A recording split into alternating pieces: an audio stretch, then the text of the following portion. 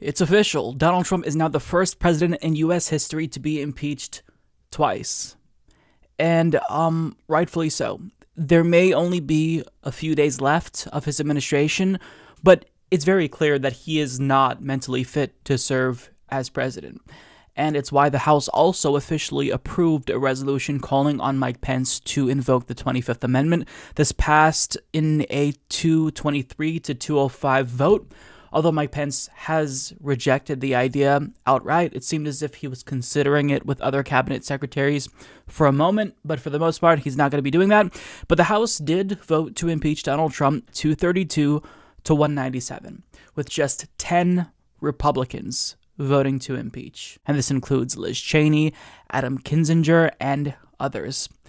So this really is uh, historic. Uh, congratulations, Mr. President. I guess you just made history. You have officially secured yourself a spot in history books permanently. Getting impeached twice. Wow.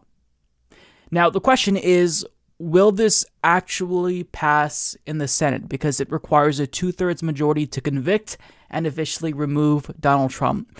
Now, the question is, what does Mitch McConnell think about this? Because if Mitch McConnell says, no, I don't support impeachment, he can unilaterally kill it just like that.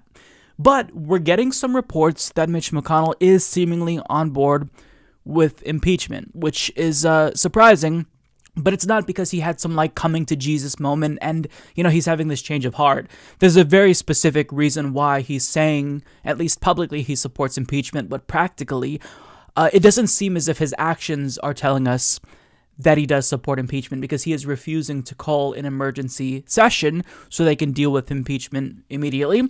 But nonetheless, he is signaling support for it. So, as the New York Times reports, Senator Mitch McConnell of Kentucky, the Republican leader, has told associates that he believes President Trump committed impeachable offenses and that he is pleased that Democrats are moving to impeach him, believing that it will make it easier to purge him from the party, according to people familiar with his thinking. This was before they officially voted on impeachment, by the way.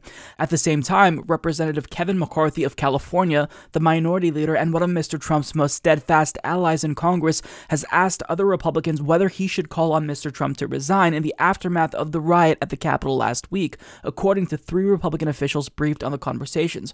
While Mr. McCarthy has said he is personally opposed to impeachment, he and other Republican Party leaders have decided not to formally lobby Republicans to vote no, and an aide to Mr. McCarthy said he was open to a measure censuring Mr. Trump for his conduct. In private, Mr. McCarthy reached out to a leading House Democrat to see if the chamber would be willing to pursue a censure vote, though Speaker Pelosi has ruled it out. Taken together, the stances of Congress's two top Republicans, neither of whom has said publicly that Mr. Trump should resign or be impeached, reflected the politically challenging and fast moving nature of the crisis that the party faces after the assault by a pro Trump mob during a session to formalize President elect Joseph R. Biden Jr.'s electoral victory.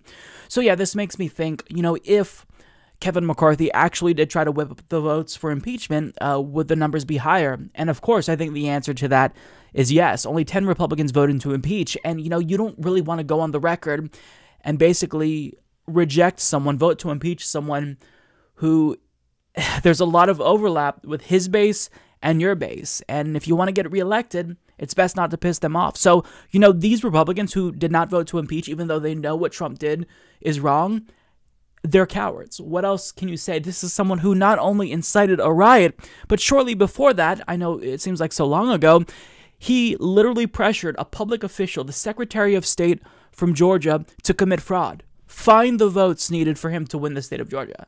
So, anyone who's against this, they're just either a coward or they're against democracy. And at this point, I don't care. It's a distinction without a difference.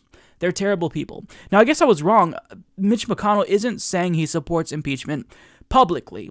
These reports are leaking out. But I mean, let's be real here.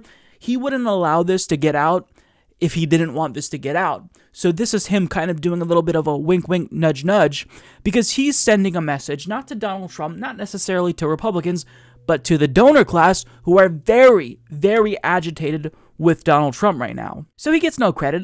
Mitch McConnell hasn't suddenly had a change of heart, but rather, you know, he is there to deliver for the Republican Party's donors. And the reason why only some Republicans are changing their tune right now is because corporate donors have threatened to cut off Republicans that partook in Trump's effort to undermine the election. This includes health insurance companies like Blue Cross Blue Shield, the Marriott, fossil fuel donors like BP, and also Wall Street firms, big banks uh, such as uh, Goldman Sachs, Citigroup, JP Morgan Chase. So the thing about Mitch McConnell that we've all got to realize is that when donors say to jump, his only question is how high. So had donors not basically put this pressure on the Republican Party, Mitch McConnell would not be moving to uh, impeach Donald Trump or even signal support at all to impeach Donald Trump because Mitch McConnell he he's not even like I don't even picture him as like a human being at this point in my mind. I've dehumanized him to the point to where he's just like this machine that acts at the behest of the Republican Party's donors and even if his actions undermine democracy and destroy our entire system, our regime, he doesn't care. He just does what the donors ask. And if the donors ask him to, you know, uh, do something, if they reprogram him and get him to seemingly take a 180, that's not him. He's not like a rational actor here. He's not acting uh, as as like a human being would. This is this is a robot basically. So yeah, there you have it. We don't know where this is going to go. Odds are it's not going to get through the Senate, even if it does pass uh, before inauguration. We'll have to wait and see. Uh, it, it, seems like there's a possibility that they they will reconvene on the 19th, which means that you've got one day to convict Donald Trump uh, before Biden is inaugurated. And then at that point, once Biden is inaugurated, that urgency will vanish. So it likely won't happen. Um, so you know, this is this is really this is fascinating, and it's really difficult to try to like digest all of the details as it happens. But this really is a historic moment. Like a sitting president has been impeached twice, impeached twice. That is a well deserved for uh, someone who is a terrible human being who has done irreparable harm to our country and our democracy. Mike is a total loser, so don't hit the subscribe button, okay? And whatever you do, folks, do not hit the notification bell either. Mike treats me so unfairly.